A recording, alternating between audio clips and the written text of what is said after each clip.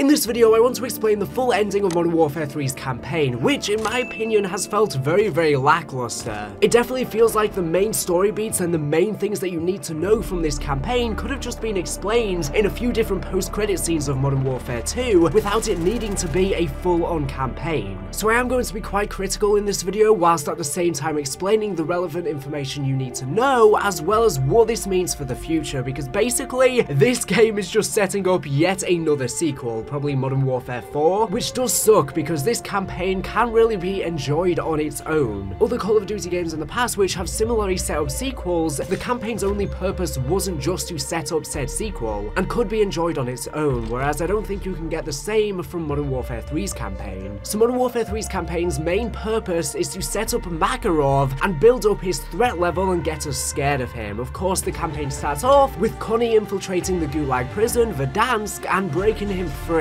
We then end up spending pretty much the majority of the campaign just diddling about, trying to stop different chemical missiles that Makarov is planning to launch on Urzikstan. And all of this kind of feels very, very meaningless because in Modern Warfare 2's post-launch story, they had already established Makarov as a main threat. Of course, we had the post-credit scene of Modern Warfare 2 where Laswell lets Captain Price know of a new threat. However, he is very aware of Makarov from previously. I don't really know why she wasn't. We then have the raids in Modern Warfare Warfare 2 that ends with Hadir dying, but before his final breath, he lets us know that quote-unquote the real Russians are coming and they plan on invading Urzikstan, which are of course Makarov and Kony. Then we get a cutscene where Farah and Alex meet with Graves because Graves has intel on Makarov and Kony and lets them know that they plan on stealing deadly gas from Al Mazrah to unleash on Urzikstan. So we then have the Warzone reveal event of Modern Warfare 3, where we work with Shadow Company to attempt to stop Kony from acquiring this gas. However, we end up failing as Konni infiltrated from within the inside Shadow Company to sneak out with the gas without entering harm's way. So that's where we were left leading into Modern Warfare 3. We already had Makarov established as a threat, we already knew he was going to escape the Gulag prison, and we already knew that they had managed to acquire deadly gas that they plan to unleash on the world because Makarov wants to start a world war. That was already the building blocks we had before even jumping into Modern Warfare 3's campaign. So I find it very obsolete that a big portion of Modern Warfare 3's campaign is just us trying to stop missiles and gas from going off once again. What was even the point of that? We already knew all of this stuff had already been established, and it seems like the only reason why it was done again is because some people might have missed out on the post-launch story of Modern Warfare 2, and they needed to be caught up.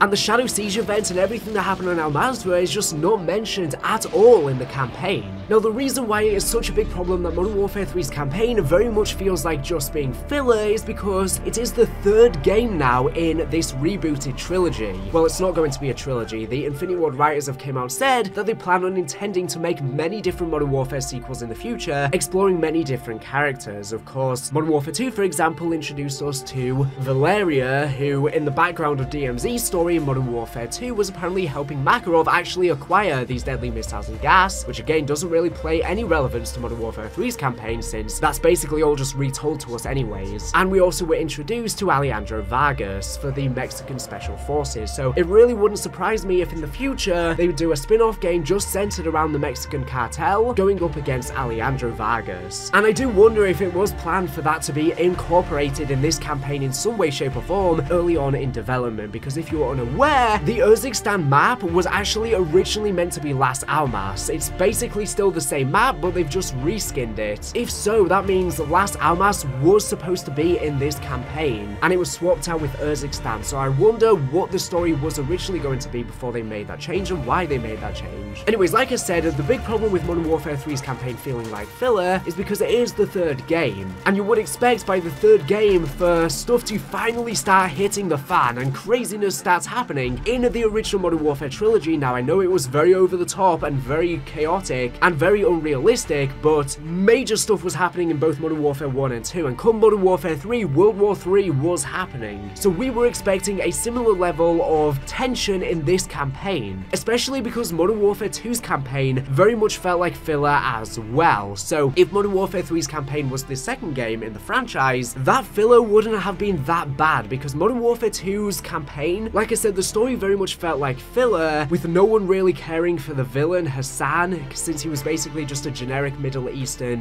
villain without too much depth, and he was just quickly and swiftly killed off at the end anyways via ghost sniping him. But I felt like we could kind of alleviate or not take too seriously that Modern Warfare 2 felt like filler, because the missions were a lot of fun in Modern Warfare 2's campaign, and they had great variety, so where the narrative was lacking, it was made up for by the gameplay, but with Modern Warfare 3's campaign, it has very, very bland missions. All of the more linear style Call of Duty missions don't feel like anything new, it doesn't feel like anything we haven't explored in Call of Duty before, it's just done worse. And then a lot of the missions in the campaign are these new, quote-unquote new, open combat missions, which are essentially just Spec Ops missions, and they're very, very boring. And again, it's not really anything new, because if you played Spec Ops before, you know exactly what you are getting into. So I feel like Modern Warfare 3's campaign doesn't really have much of a compelling narrative, it's pretty bland storyline-wise, and boring even, and then the gameplay too is very bland, boring, and mediocre at best, so when you have them both together, that's why it turns out so poor. Now, with Modern Warfare 2's campaign, Graves was of course introduced, which is a great character, and we of course saw the Shepherd betrayal play out. As Graves and Shadow Company were ordered by Shepherd, he gave the direction, and this was a very important thing introduced in that campaign, but that campaign felt overall very disjointed compared to Modern Warfare 2019's campaign, but like I said, this was made up by the fact that the campaign missions felt like they had great variety and were quite fun, and it was also made up by the fact that Task Force 141 were, as a team, first introduced in Modern Warfare 2 in this rebooted universe, and they were a fun family to see with great dialogue and great banter between them. So the dialogue and the character development in that game was very, very strong, I felt, but the overall narrative wasn't very strong. However, this strong part of Modern Warfare 2's campaign is missing from Modern Warfare 3's campaign. I feel like no character really, aside from Price and Makarov, stand out or have much role or dialogue even. I do think that the overall narrative of Modern Warfare 3's campaign is a bit stronger than Modern Warfare 2's, but the dialogue and stuff feels a lot weaker, which makes it less fun, and this campaign I felt like had very little character development, which makes it even less impactful. I really do think that almost every character had almost no role to play. Farah had quite a bit going on, but if we look at all of the other characters, Gaz, Soap, Ghost had a bit more than those two characters, but still not that much. We had Yuri as a bit of a side character as well, a bit of a paying homage to the original trilogy, and there was also Alex shown in the campaign, but overall, literally everyone I have just mentioned had such little character development or presence at all. They kind of just felt like background characters. It was nice that this campaign actually had a lot of characters in it though, and we got to see Alex and Farah back together, and we got to see a lot of the characters that were absent from Modern Warfare 2's campaign. That part was good, but because they were dealing with so many characters and the overall story as well was pretty bland and basic and just felt like filler, it felt like everyone was getting left out and people were just kind of appearing as background characters like I said. Now like I said before, the main purpose of Modern Warfare 3's campaign is to set up Makarov as this compelling villain, and we also of course saw the new version of No Russian in this game. So next game, whether it's Modern Warfare 4 or whatever they decide to call it, that should be the game where we expect all hell to break loose. But that I really do think should have been what happened in this game, because like I said, Modern Warfare 2 had already established Makarov, we were expecting a world war to break out in this game, whereas this campaign instead just felt like it was setting up Makarov all over once again, which was already done. And like I said, Modern Warfare 3's narrative isn't strong like Modern Warfare 2's, but it's made worse by the fact that it is the third game. Modern Warfare 2, we could excuse it as being a bit of a filler to set up Modern Warfare 3, but now we're here on Modern Warfare 3, we don't want it to just be setting up yet another sequel. It's starting to feel like this Modern Warfare rebooted universe is feeling very, very dragged out, and they are milking the story for every last drop, and I don't really understand why they're doing this because there's so many characters in this rebooted universe where if they do decide to kill off a lot more characters, they still have a lot of other characters to work with for many sequels to come without having to drip feed and milk the story dry. Because they're killing any form of momentum. I think Modern Warfare 2019's campaign was a really strong story and that was weakened with Modern Warfare 2 but was made up with very good narrative. And again Modern Warfare 3 is again a dragging story. And the writers for Modern Warfare 2019's campaign did leave during Modern Warfare 2's development. So I would assume that is why the campaigns since have felt very disjointed and not on the same caliber as Modern Warfare 2019's. You know I know there's some people that think it's our fault for overhyping and getting too big expectations for Modern Warfare 3's campaign based on the original trilogy having a world war in this game. However, I think this is mainly a fault of the manipulative marketing of Modern Warfare 3, because the campaign trailers were awesome and really seemed to imply that this game was going to be chaotic and a world war would break out. I mean, you literally get this quote in the trailer.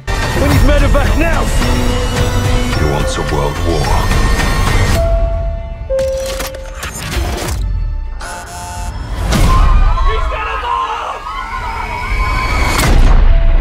And then it pans to Big Ben. This kind of implied that Makarov would bomb Big Ben, and that would of course lead to probably a world war if it were to scale that large. But then nothing really ends up coming of that. We only end up going to London in the final mission of the campaign, and nothing really ends up coming of Makarov's plan in this mission. All that happens is we're trying to defuse bombs, Makarov pops up and just pops soap in the head, and that is the end of him. He dies. That is it. It just happens so suddenly, and it just feels so unearned. Now, I know that this new reboot is trying to be more realistic, and I guess this proves the point that anything can happen in war. Anyone can die in a split second, not even in war, just in life in general, so it's totally possible that something as anticlimactic as this would happen in real life. Of course, not every single death has to be this cinematic masterpiece, so it doesn't need to be like Modern Warfare 3's original campaign where Soap died and we had this big monologue from Captain Price pleading for him. Come on, stay with me, son. です。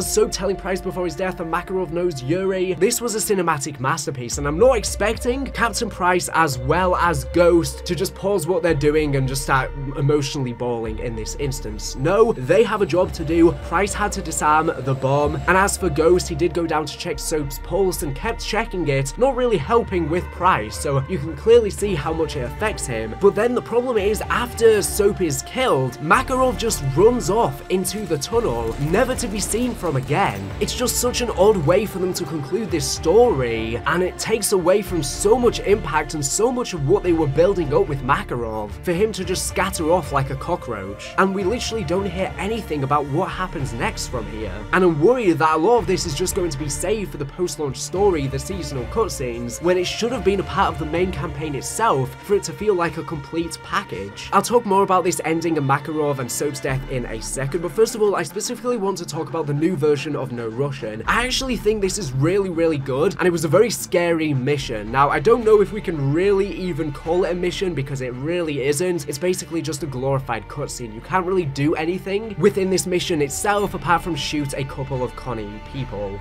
That is literally it. So, you know, it's basically just one big long cutscene, unlike Modern Warfare 2's original No Russian, which was very controversial, where you could actually choose to shoot civilians. However, I think aside from the fact that this is basically a long cutscene, I think the cutscene itself is really, really cool and is very scary. Having the Konni person talking to the ex-ULF member, which is the Urzikstan Liberation Force, and him pointing out all of the members of her family, naming them verbatim, would be such a scary thing to experience and endure. Of course, she then luckily manages to steal his pistol that was 3D printed. The problem with this cutscene is I do think they should have maybe shown a bit more of them actually putting together the pistol and stuff like that. I know it was the post-credit scene of Modern Warfare 2's campaign, so it already showed sort of the build-up to this mission, but if you missed that and you didn't see that, it wouldn't make as much sense. I'm sure everyone's seen it by now, since it has been out for so long, so this is kind of just a basic nitpick. But yeah, I find this mission to be so horrifying when Makarov and Konni forced her to then put on the suicide vest and throw it into the crowd on the plane. That feeling of helplessness that she probably felt during that would have been so intense, knowing that her fate is over and now the Urzikstan Liberation Force are going to be blamed for a supposed terrorist attack. She is going to be labeled everywhere around the world. All of her family, friends will think she's a terrorist because she has been framed, and she feels so helpless in that moment. She has to start fighting against the passengers who don't know what's going on just to try and get the phone to disarm the bomb, and unfortunately, the bomb goes off, and that's that. I do think this mission is good, but I do think that they should have designed it so that it is a bit more interactive. I don't know how they would have done that, but it does very much feel just like one big cutscene. And I have seen a lot of people hating on this new version of No Russian, but you have to understand this is a reboot. It's not going to be exactly the same as the original, and I understand your point that it is just one big cutscene, but the story aspects of it and the cinema aspects of it, I think are really well done. And in general, all of Modern Warfare 3's cutscenes look phenomenal. They're all beautiful and really well acted. So whilst there are a lot of criticisms to be had for this campaign, the Modern Warfare games always smash it out of the park in terms of the and the visuals. So yeah, this is Konni's plan. This is Makarov's plan to frame the ULF as attacking Russia because this is a Russian plane and even the ex-ULF fighter points out to Makarov, you would kill your own citizens just for this. And this shows how ruthless Makarov is, that he doesn't even care for civilians who live in his own country, that he is supposedly fighting for. Everyone to him is just a means to an end. Now, following on from this mission itself, I think it was covered up and framed way too easily by Connie, or Coney, however you want to pronounce them, and the aftermath didn't feel compelling, where it basically just showed news broadcasts of people suspecting the ULF to be terrorists, but it doesn't really show any country scaling and preparing for war, or even how serious these claims are. We don't know how much evidence the world knows that Coney were involved in framing this terrorist attack. We don't know. We just get these few little short news snippets. And yeah, I think the mission itself is building up to something crazy happening, but then when it actually plays out, it kind of falls flat on its face, and it's like, well, I guess World War III isn't really happening then. There's no actual real threat happening here. And it kind of makes the mission all feel for nothing because no outcome ends up happening in terms of Kony's favor. Now, in terms of Modern Warfare 3's campaign, I think that it starts off really, really well. Like I said, it starts off with Makarov being broken out of the gulag, and I really like how the second Captain Price finds out that Makarov has escaped from the prison, he immediately shifts operations. We get a cutscene which is similar to the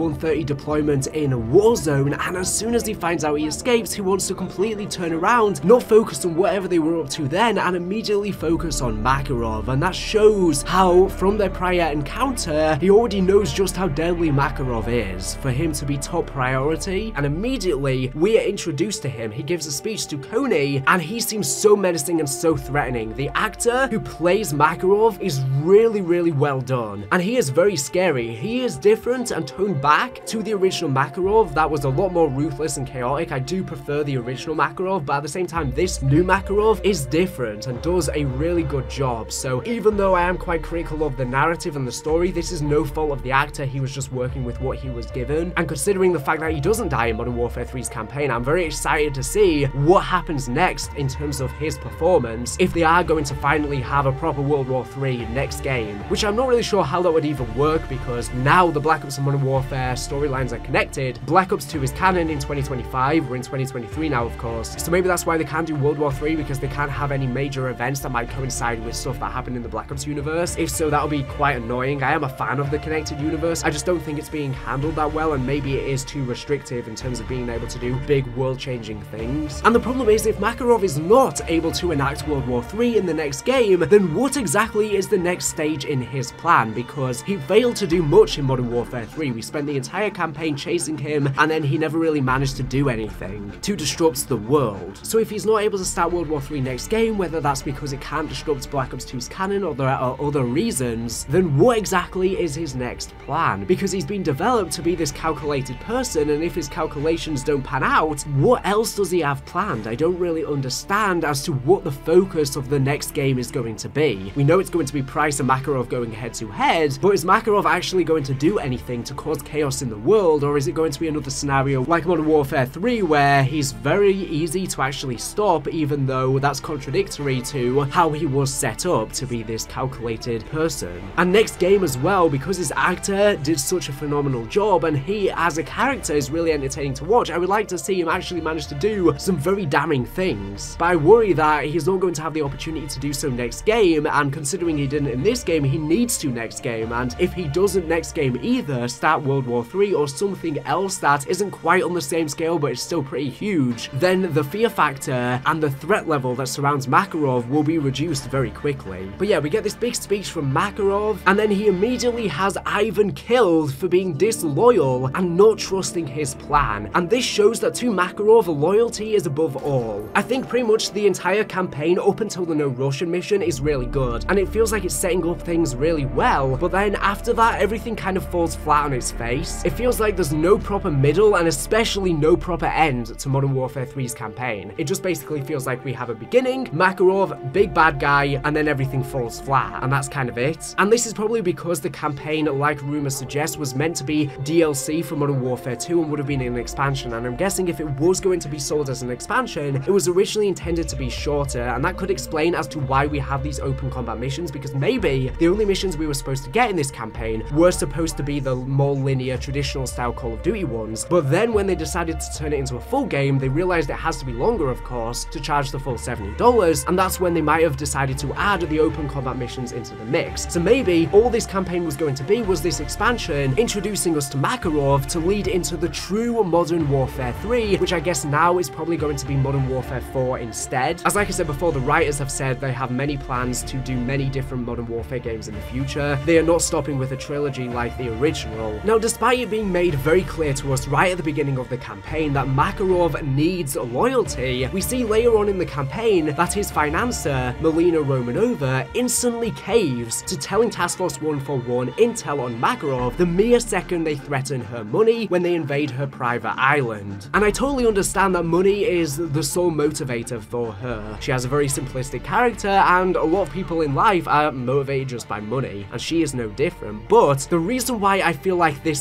really has a little substance is because of how easy she caves, and also the fact that she was present in that mission at the start where Ivan is killed by Makarov for showing disloyalty. And he didn't even snitch on Makarov like she does, he just didn't think that his plan would work, which is way less big of a deal. Surely she would be a lot more scared to give this information over to Task Force 141. And she does look like she immediately regrets it afterwards and is scared for what will happen to her, but then we never see the aftermath of that. It really would have been nice to see a, a scene after that where Makarov has her killed or something and it's just very vicious and gory to really cement what Makarov will do to traitors. And I feel like that's a common theme in this campaign. We see stuff happen and then there's never really much consequences. And I think that a lot of the characters are very, very bland and carbon cutouts of themselves, lacking very little depth. Милена, кто кто?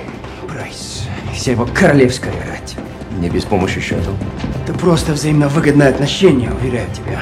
Дивиде от Импера. Раз они нашли Милену, они могут найти и нас. Regardless, I do think that this mission was very, very fun and I think was really one of the only fun open combat missions in the game and the island setting was awesome and I could totally see this being a Resurgence Warzone map even. Now a big thing that's important in this campaign is Graves and Shepherd are reintroduced into the story after we obviously learned that Shepherd went into hiding following the events of Modern Warfare 2's campaign and Graves kind of took a backseat from Shadow Company and Oz became the de facto leader in the meantime. And in this game, Graves and Shepherd managed to strike a deal with Task Force 141 despite them betraying them before. The reason they cooperate and give this deal is because they have information on Makarov. And at the end of the day, no matter what Captain Price and what all of the other characters think of what they did, they strike this deal for, I guess, the greater good and have to put their emotions aside, which I guess happens all of the time in war. So this is no different. And the reason why Shepherd has so much information on Makarov is because he claims that he needs a win on his name and to clear his name, and it's also needed for Shadow Company to help fix their reputation too after the incidents on which they of course fired on Task Force 141. And after that event, their reputation was put into question with many viewing them as just trigger-hungry business people in war zones, and they were investigated by the FBI even. We learn of this in the character bios of Graves and Oz in Modern Warfare 2. So basically, it's two sets of people working together for different reasons despite the fact that they hate each other for a greater goal. Captain, let me paint you the bigger picture. You need Makarov in a pine box, and I've got the nails. But the problem with this is that if you didn't see Modern Warfare 2's post-launch cutscenes where Graves is revealed to still be alive as he apparently wasn't in the tank and faked his death, you would have no idea what he's doing here, and it's not really explained in the game either. I think there was kind of a line needed somewhere where they kind of explain this because I'm sure lots of people missed the post-launch story of Modern Warfare 2 and weren't filled in here. Now the game does make a few jokes, such as this one from Graves. Without an army, you got nothing. Wrong again, boys. Fucking believable. So, you missed me? Well, technically, you did, didn't you? And in the AC-130 mission, he makes jokes about the tanks, Enemy tanks destroyed. Good. Hate those fucking things. Three things you cannot outrun in this world, folks. Death, taxes, and me. So it is implied what happened, but not directly stated. And don't get me wrong, these lines from Graves are really funny, and Graves is a tremendous character with great charisma. So in that sense, I am glad he is still alive, even though it felt like it was kind of just done to sell bundles, and I would have rathered him not even faked his death in Modern Warfare 2 and just kept him alive. But despite these lines being funny, he's certainly not a good person, and he doesn't need to be to be entertaining or a good character to watch. But I think that a lot of fans online are being manipulated by his charm and not really understanding his character and the story Infinity Ward are trying to tell. I've seen many people defending Graves, saying he didn't do anything wrong, he was just following orders from Shepherd, but this is never an excuse to do any wrong. And also Graves is shown the entire time to be trigger hungry and get enjoyment and excitement from war, which isn't something anyone should do, even if it's a necessity. And I think this is a common theme we've seen with other characters in media such as Patrick Bateman, where people get the wrong idea of their characters and then start fantasizing them and kind of misinterpreting their character entirely and completely not getting the point and end up falling for the tropes of which they're actually trying to tell the writers. Now the thing that I don't like about Graves making these jokes is I don't understand why he isn't called out by any other characters. Surely someone would be like, is this some kind of sick joke? You tried to kill us and now you're cracking jokes about it? However, he just says them, they're funny, and us, the audience, of course, get a reaction from them and chuckle, but then no one actually in the game calls him out, and it's like, what the hell? And this exactly ties back to what I was saying earlier. I feel like all of the characters in Modern Warfare 3's campaign just really have very little depth. I don't really understand anyone's motivations, and everyone feels so unpredictable because so many things contradict to one another. A character will do one thing, but then there's a line before that contradicts their actions. Together as one. Shepherd only sees what he wants. His name on a win, another medal on his chest. What do you see? It's what I don't see that worries me. There's very little consistency with how people act. Now, in the penultimate mission of Modern Warfare 3, this is the AC-130 mission. And basically, the mission concludes with the possibility of us having killed Makarov. Good effect. Hangers down. That's how we get it done, Shadow. Those be done, you Vladimir. And Shepherd slash Graves slash Shadow Company, like I said, want a win to fix their reputation, so they are very much happy to just declare Makarov dead at this point. Because it'll be a win in their books and it'll put another star on Shepherd's arm. Because that's all he cares about, apparently. That kill is not confirmed. I say again, that kill is not confirmed. We need to search the site for PID on Makarov. Gold Eagle Actual to all stations. Your orders are to stand down. We got nothing but fire and brimstone out there, and that's all the confirmation we need. Six, go to one. Go for six. It's over, John. We nailed that bastard to hell and gone. Yeah, that's what we said about your little shadow graves, yeah? Makarov's dead, Captain. Don't let him live inside your head. Eagle out. I really just don't understand why this whole debacle was even a thing. I understand it in that sense, but why on earth are we as an audience even led to question the possibility of Makarov potentially dying? Who in their right mind would have ever believed that? Why was that even a question? When this whole thing was ongoing whilst I was playing, I was just thinking, do the writers think we're dumb? Like, not a single soul would have fallen for this. Especially after they brought back Alex and Graves before, since they didn't die on screen, why would we believe Makarov is dead when we didn't physically see it? I just don't understand what the whole point is of this, especially within mere seconds, the next mission starts and then we find out, oh wait, Makarov is still alive. Steam in hell. Is Makarov alive? There's comms from Azar 9-0. That's his call sign. What are they doing in London, Laswell? It just felt like such a poor attempt at a bait and switch, and I understand the point of, you know, Shadow Company and Shepherd and Graves wanting to, you know, just fake Makarov's death and pretend they've killed him because it's good for them, but they could have done that without pondering the question to Task Force 141 because obviously they wouldn't believe it, and I don't know why this was even a thing. I think it would have been more interesting if Shepherd and Graves outright came out and said, we don't know if he's dead, but we're gonna do it because we need to, and then there's kind of some sort of argument that ensues between them and Task Force 141, furthering the tension that has already been building from their betrayal before. That would have been more interesting instead of them, you know, all basically pondering together and Captain Price being like, no, he's probably not dead, and Farah then agreeing with him. Like, it just all felt so weird. I don't know what that was about. And speaking of Farah, I don't understand why she is so relaxed around Graves in this campaign, and why she doesn't share the hatred with Price. Because Price lets Farah know about the incident of Shadow Company being ordered by Shepherd Shepherd to fire on his men. During the scene in which we learn that Shepherd slash Shadow Company were supplying the ULF with missiles and gas, which explains how they were stolen in Modern Warfare 2's campaign. So that's a good little bit of information there and gives more context to Modern Warfare 2's campaign. But anyways, I just don't understand why she expresses such little concern when she is told this by Captain Price. She has a moral compass too, and it just feels so jarring. And again, the characters just have such little depth in this game. I don't know why. Commander Graves did this.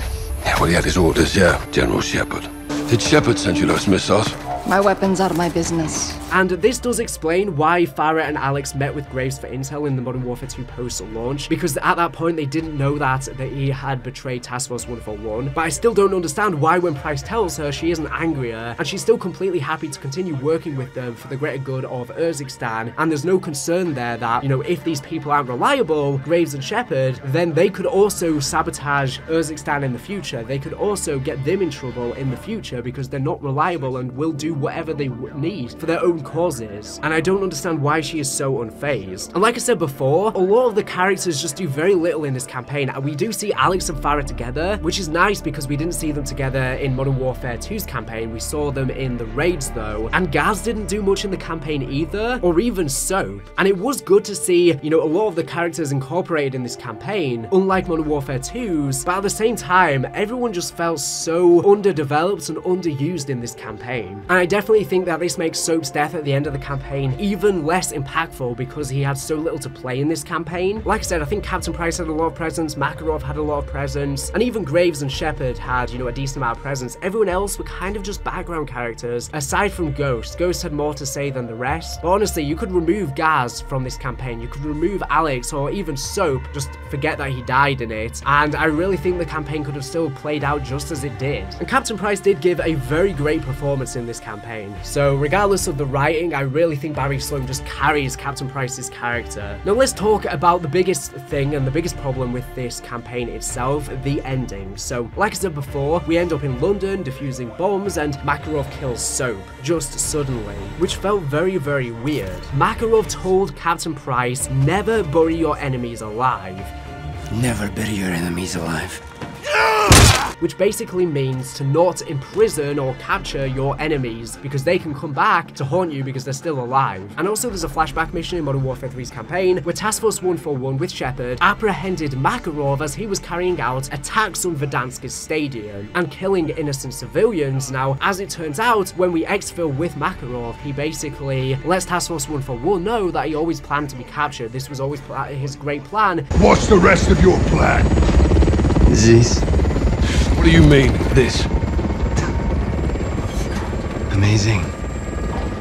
You're all dumber than you look. Because it was basically a distraction so that he could get them away from the stadium and then it could be bombed after he was captured. So, like I said, this was all part of his big plan. And when Makarov is captured by the task force, Soap says that, you know, he should kill him. Let me finish him. John, we have him.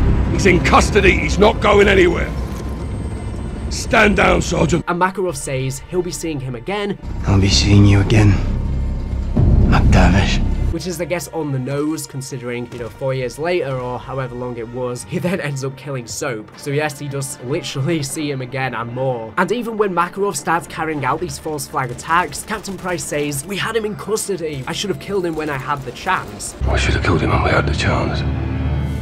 What stopped you? So what does this mean for the ending of Modern Warfare 3's campaign? Well, Captain Price takes Makarov's advice. Clearly after Soap is killed, he takes it to heart, and he listens to him to never bury his enemies alive in the future, which means that Captain Price no longer will be taking any hostages, he will always be killing, because he regrets not killing Makarov when he had the chance, because if he did, he would have saved thousands and thousands of innocent civilians' lives, including the life of Soap, if Makarov didn't exist. Or at least least hypothetically. This is the problem with this flawed logic. Yes, he could have killed him there, but we don't know what sort of trickle effects could have followed on from him killing Makarov there. Potentially, it could have even led to more deaths. We don't know the future. And that's why when this quote is even said, Soap says this. I shouldn't have stopped you. Was the right thing at the time, Captain. At the time, Because yeah, it was the right decision at the time and you can't predict the future. You can't just go killing people, even people who are bad, to try and prevent things in the future that you don't even know are going to happen. Because at that point, you might as well just be as bad as them, going around killing everyone. You never really know the ripple effects that can happen from different actions. For example, if they killed Makarov then, maybe it would have inspired an even greater threat as someone could rise from the dust to try and avenge him. Because that's Makarov's own logic. He kills people who he thinks are a means to their cause. I thought you were the good guys. So Captain Price takes Makarov's advice and Laswell, I don't really know why, but for some reason allows him access to get into Shepherd's office and he hides in there and then he shoots Shepherd in the head. And basically, this shows a turning point in Captain Price's character that he has quote unquote joined the dark side, as Makarov's actor has even tweeted to Captain Price on Twitter. This means in the future and the next Modern Warfare game, Captain Price is going to be ruthless. He won't be taking shit or bluffs from anyone, he will be just killing anyone he wants, and this has the potential to go very, very dark in the future, and I'm excited to see this side of Captain Price. This is definitely the most meaningful thing from Modern Warfare 3's campaign, because this is really the only thing that moves the story forward. We have gotten rid of Shepherd after his betrayal, and now it sets up the stage for Captain Price to be very, very dark next game. Just like Alex says, Let's get evil. and I also find this quite poetic because Captain Price isn't aware in this moment that he's basically just becoming Shepherd because Shepherd literally says to him in Modern Warfare 2's campaign, To do good, you've got to do some bad. You've lost your mind, General. And this is the exact same logic as Makarov as well. Makarov feels like you have to do bad to do good, although his good is basically just Russia being this dominatory force that isn't a mockery of the world. But nevertheless, everyone's definition of good is different, and that's the problem with feeling like you have to do bad to do good, because everyone has a different definition of bad and good, and if you're going to do bad to meet an end goal, then you might as well just be on the opposite side of what you're fighting for. And this is the slippery slope that leads a lot of people to become bad or evil. At one point, Shepherd would have probably been in a position of Captain Price, and gradually over the years, he started taking more and more leaps to doing bad, and eventually his moral compass slipped away entirely. And that's what we're starting to see happen with Captain Price. So I don't know what this means next game, but I do think that it could mean that Captain Price will kill Makarov, just like in the original trilogy, considering the fact that he's going to now want revenge on Makarov after killing Soap. And Captain Price could do some very evil things next game, so I don't know what he's going to do, and if he starts doing really bad things, how is everyone around him going to react? How is Laswell going to react? How is Ghost and the other characters going to react if he is going off the rails with no moral compass anymore, just guns blazing? Are people going to be trying to hold him back and stop him? And if so, how is Price going to react? Is he then going to react poorly to the rest of Task Force 141? Is this going to cause a major disrupt in everyone's bond and trust? This is really something important to think about next game. And this was a big theme explored in Modern Warfare 2019's campaign. They were blurring the lines between good and evil. They were questioning what actually makes someone good and evil. They were saying, you know, one person's terrorist is another person's liberation fighter. And it really depends on who you ask and the angle you are looking at to determine where the line is drawn between good and bad. So I like how it's now come completely full circle to that theme of Modern Warfare 2019, where Captain Price, after experiencing tragedy after tragedy, is going completely mask off now. And if Captain Price does something very, very bad next game, I wonder if that could mean he could even be killed, because maybe he goes too far and it results in just getting him killed. And maybe he even might deserve it if he goes too far. And of course, Gaz has been Captain Price's right hand man. You know, he basically built him up throughout Modern Warfare 2019's campaign. So if Captain Price does start going off the rails, I think Gaz would be the first person to try and pull him back. But honestly, I do like darker storytelling. I am a big fan of darker stories, so if that's the route they're going with Captain Price, I think I'm really going to enjoy what they have planned next. And I guess the reason why Captain Price takes Makarov's advice and then decides to kill Shepherd is because I guess he feels like if he doesn't kill Shepherd now, Shepherd could further betray them in the future or cause further chaos in the future due to his malicious and selfish ongoings and could cause further casualties in the future. So I guess that was his idea. He can't let Shepherd continue to live like he did Makarov, otherwise more people, more innocent people are going to die. However, I just don't feel like this feels earned. No pun intended to Soap's death. And the reason why is that earlier in the campaign, we captured Shepherd after he was surprisingly taken hostage by Makarov. We were trying to find Makarov and just randomly stumble along Shepherd. Very weird, but apparently, you know, Shepherd was trying to go after Makarov, but not very well, gets himself captured. Anyways, you know, Price and Co are very annoyed at that, and Captain Price essentially says, you need to give intel on Makarov, otherwise you will be dead.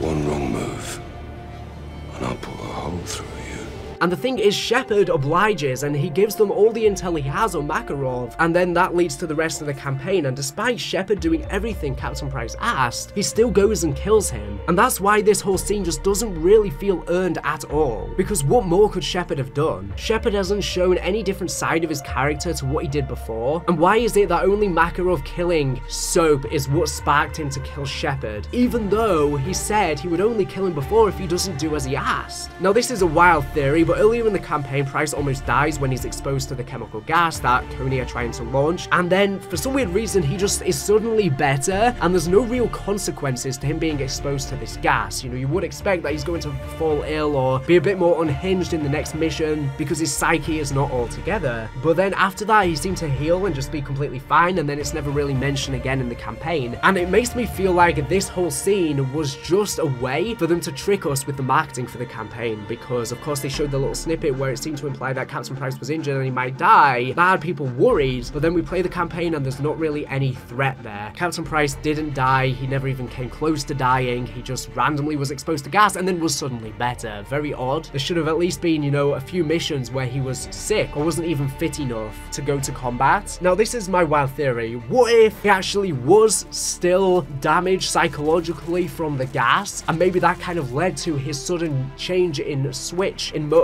at the end where he goes and kills Shepherd. Maybe that could be somewhat influenced by the gas. Now, I personally don't believe this theory. It's only about 5% chance of this actually being the case, but it's just a way for me to kind of justify the drastic change of character, and it's also a way for me to kind of justify that campaign mission earlier where he just suddenly gets better after being exposed, which felt kind of pointless. And I'm just thinking maybe that is because it did actually play some importance. It just wasn't very obvious to us. But yeah, I know this is a very far-fetched theory, so just ignore it if it feels too much for you. Now, likewise, as to why I feel like this doesn't feel earned that Shepherd is killed by Captain Price is the fact that near the end of the game, of course, Graves as well as Shepherd are testifying to Congress, and both of them backstab each other. Shepherd says he never gave the orders to fire on Task Force 141, and Graves says yes he did, but he didn't follow through with those orders, so they both lie and both stab each other in the back. Did you authorize Shadow Company to fire on a task force under your command in Las Almas, Mexico?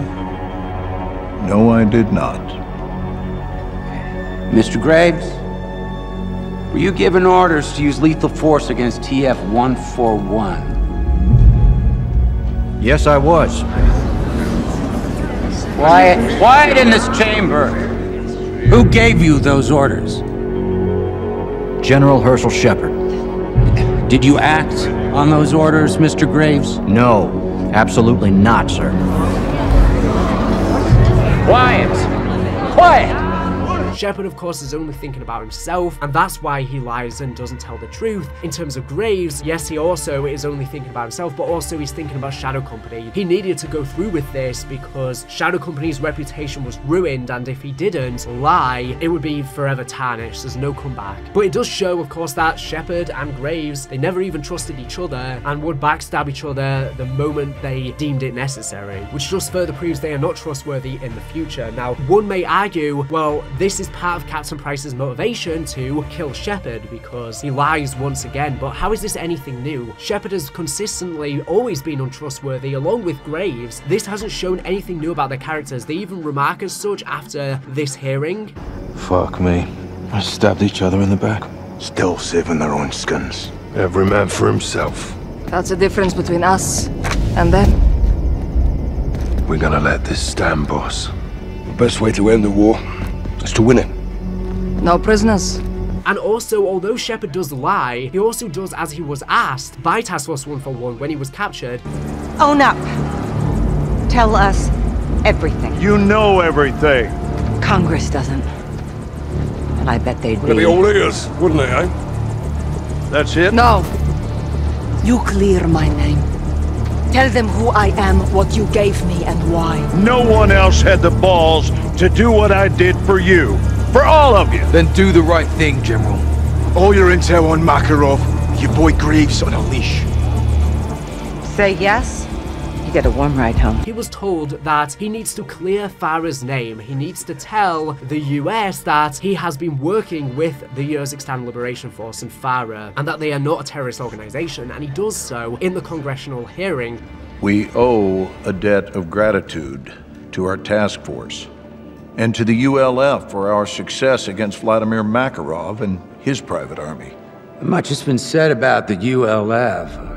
Are Farah Kareem and her soldiers a terror organization? No, Farah Kareem is and always has been an ally to the United States and our Western partners in the region. How did uh, Commander Kareem obtain American armament? For nearly a decade, I sent weapons to Commander Kareem to support her missions against Al Qatala and Russian incursions into Urzikstan. Were those shipments legal? No. In order to save lives, I commissioned illegal shipments with funds I approved myself.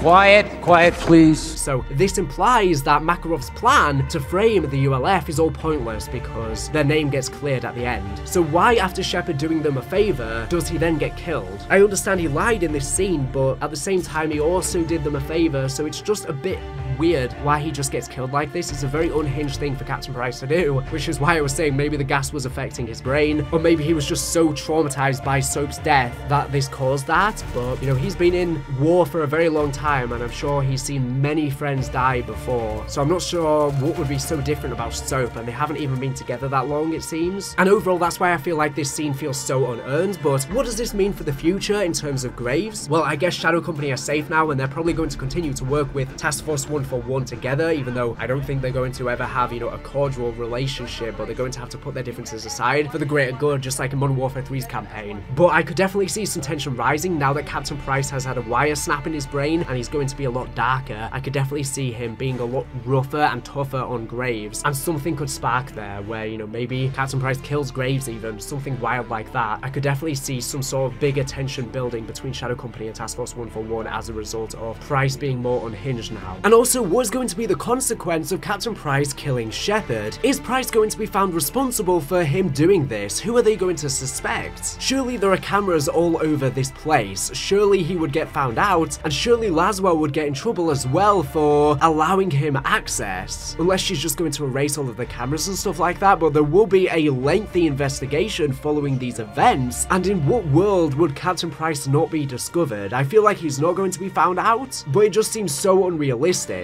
And it seems very unrealistic that he would do this without the fear of being found out as well. And also considering the fact that Graves and Shepherd testified in Congress, there was going to be a consequence to this. Since both of them backstabbed each other, Graves had the upper hand, he saved Shadow Company's reputation by throwing Shepherd under the bus, so Shepherd would have eventually been facing legal consequences. So there were already consequences for Shepherd coming up. He already was found to be lying to Congress, and yet Captain Price ruins any potential justice and just kills him. When justice could have come from the legal system, which I know isn't reliable, and, and higher ups in the military get let off all of the time, so that very well could have happened to Shepherd, but at the same time, there would have been some kind of investigation following this, and they would have been trying to figure out who is lying, Graves or Shepherd. And now that Shepherd is gone, they're immediately going to side with Graves, I guess probably. And also, it seems dodgy on Graves' part and Shadow Company's part that Shepherd randomly dies afterwards. Surely, the government would suspect that Shadow Company slash Graves were involved and might be responsible for his death,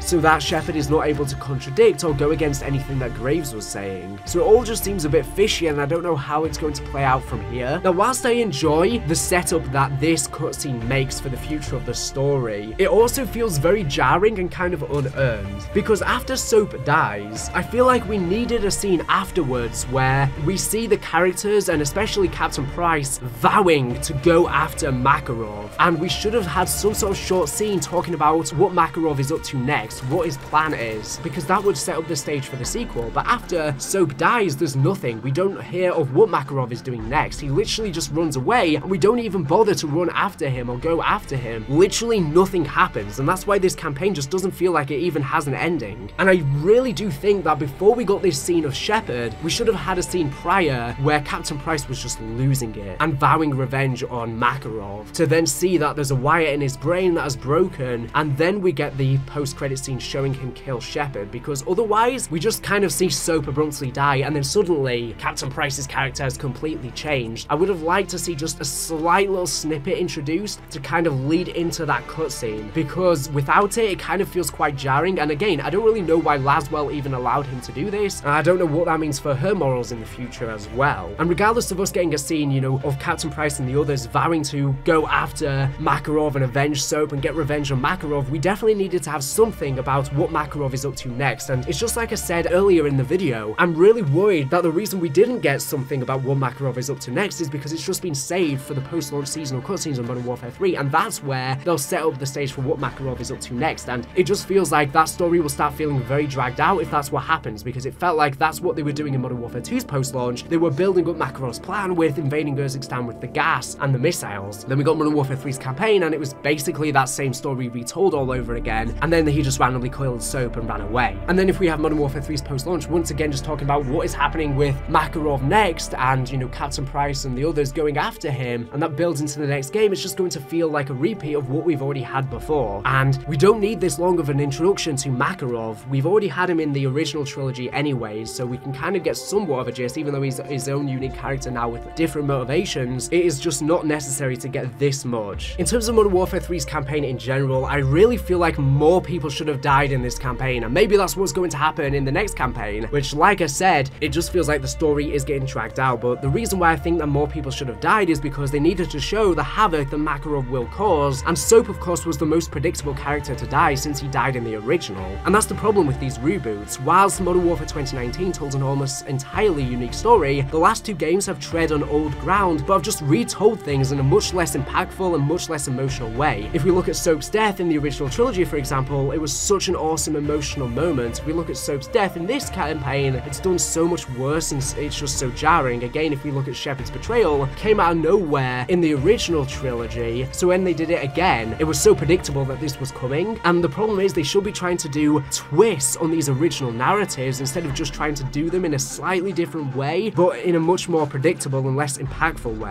I definitely think they should have tried to do spins on these stories, for example, Soap killing Makarov instead of the other way around, or Shepherd not betraying us this time. Or maybe he still does betray us, but he has different motivations to before. Maybe Graves could have been the one to actually get him to betray us instead of the other way around. Anyways, they're just some dumb ideas I've come up with quickly on the top of my head. I'm sure with some more pondering I could think of some better ones, but I'm just saying that I don't want them to just do what they did before, but worse. Try and do something different in terms of the narrative and the main story beats. Now, this whole game, like I said before, it kind of just establishes Makarov, of course, escaping the Gulag, and we learn, of course, that Task Force 141 have past history with him. And then he plans these false flag attacks to frame the ULF, Urzikstan.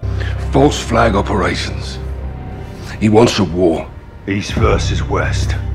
The title fight. But then we seem to stop these very easily. He randomly shows up and then kills Soap at the end, and then the credits roll. It's all just so weird. Makarov was also shown to be so calculated at the beginning of the campaign, as he was responsible for so much between Modern Warfare 2019 and Modern Warfare 2. He was kind of the person, you know, moving all of the chess pieces behind the scenes. He was doing all of this from within the Gulag, by the way, being imprisoned. He was commandeering things, using a phone from within the Gulag, and he planned the attacks on the Verdansk Stadium, he planned his escape from prison, and the aftermath in those four years in the prison. He then escapes and starts enacting this big master plan, but then nothing comes of it, and this makes us feel like, well, maybe Makarov isn't as calculated and isn't as smart as he was being made to, out to be at the beginning of this campaign, and that's the problem with them trying to drag out this story. With us being able to basically stop him so easily in this campaign, you know, we get information from Melina so easily, we stop the missiles so easily, all of this, nothing ends up actually coming of Makarov's plan in this campaign. It makes it feel like he, he doesn't have it as together as we once thought, and it's all just to set up yet another sequel with no real ending or substance. And like I said, post-launch, they're probably going to have some cutscenes showing, you know, what, what Makarov's up to next and the next stage of his plan, but what was the point? Already Modern Warfare 2's post-launch established he was trying to start a world war. This game established nothing new. Makarov's motivations for starting a war in this campaign are also a lot more compelling than the original trilogy. If you've read his character bio, basically his parents were working within the Russian government, but they were trying to do good and change things from within, and he watched as the Soviet Union fell, and he woke up one day to find his father's hanged body, and I guess that was the tipping point, and he thought his father and the Soviet Union were weak, and he wanted to be different, he wanted to be ruthless and do whatever means necessary for Russia to not be a